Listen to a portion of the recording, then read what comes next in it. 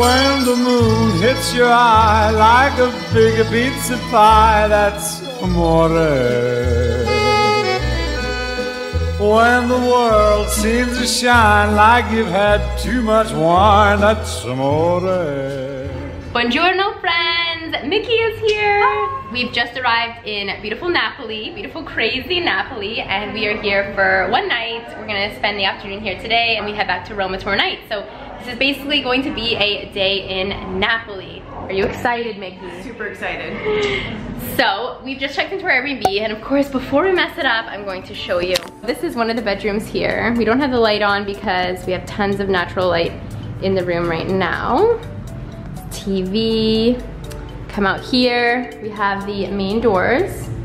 And these are from way back in the day. We have a kitchen with the mores in here. Editing photos. and we have the bathroom here. So nice. And we have another bedroom in here. There's so much space in here. Honestly, like I would live here. And I'm gonna show you the best part. How cool is this view? Down the street there, down the street there. Beautiful. Little signore doing his grocery shopping. So we are hungry from our mission back from the coast. So if you guys haven't checked out the Praiano travel diary, that's where we just were. So we ended up actually taking a taxi all the way back to Naples. We got an amazing deal because the Sita bus doesn't run as often on Sunday, so keep that in mind if you go to the coast. Andiamo.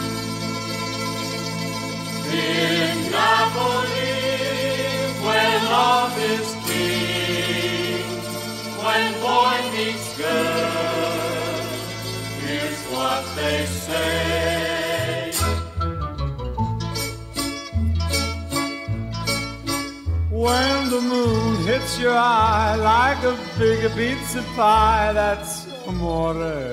All right guys, we just had the most amazing lunch at Del Presidente here in Napoli.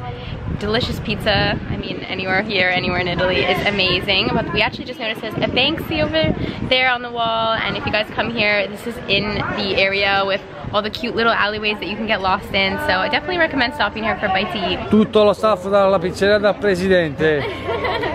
Grazie. Hello.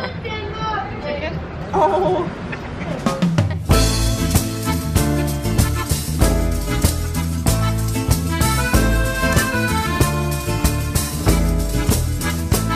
Da compagno viga viga sulla te casina amica Guess who's here?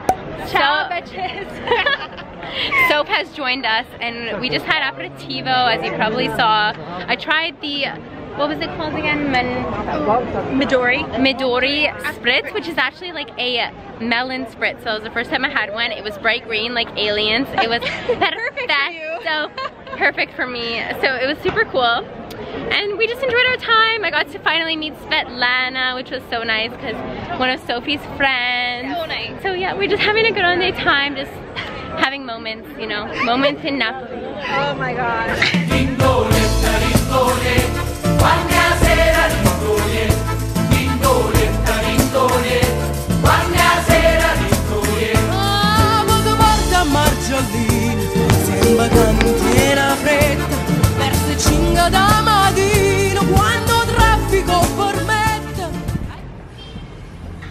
Buongiorno friends! Today is day two in Naples, but basically day one because we arrived yesterday afternoon. We had an amazing evening last night walking along the water. Do you like it, Jenn? Yeah, it was really fun. It was really good. I love the Yeah, waterfront. it's so pretty down there mm-hmm. and we are off to colazione soon, which is breakfast. We'll take you guys along for the ride. We're just checking out of our Airbnb now and it's super sunny, so can't wait to get outside and enjoy it.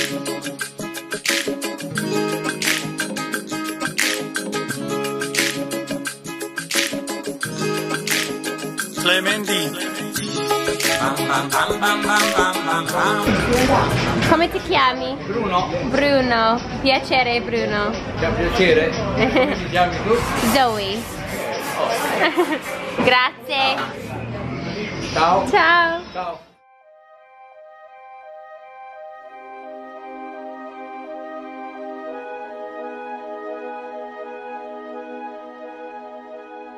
Our next stop of the day was Napoli Sotterranea, something I was unaware even existed. Alright guys, so we're underground Naples right now and we are going on a little tour here. So the tickets were 10 euros and we'll let you know what we think when we're all done. 40 meters below the characteristic and lively streets of the historic center of Napoli, you will find a different world. Unexplored, isolated by time, but deeply connected with the world above. It is the heart of Napoli and the place from which the city was born. The 450 kilometer subterranean network was formed by the Greeks in the 4th century BCE in order to build what was then named Neapolis, or New City. The Romans later used the chambers and pathways to build aqueducts that provided water for many centuries of Neapolitans. As the centuries passed, buildings were constructed on top of the previous ancient infrastructure, and the remains of these structures are hidden deep below the city. Many years later, the underground network was used as an air raid shelter during the Second World War, and you can still see forgotten war relics such as weapons and vehicles inside the tunnels.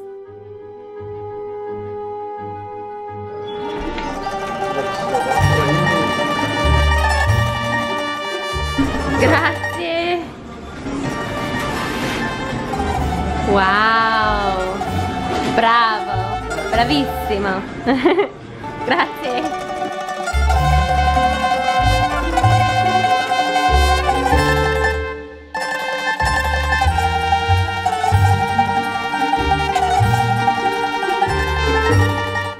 So we are just at Il Gelato Mennella, which was recommended to us by Marco, our Airbnb host, and sorbetto is good.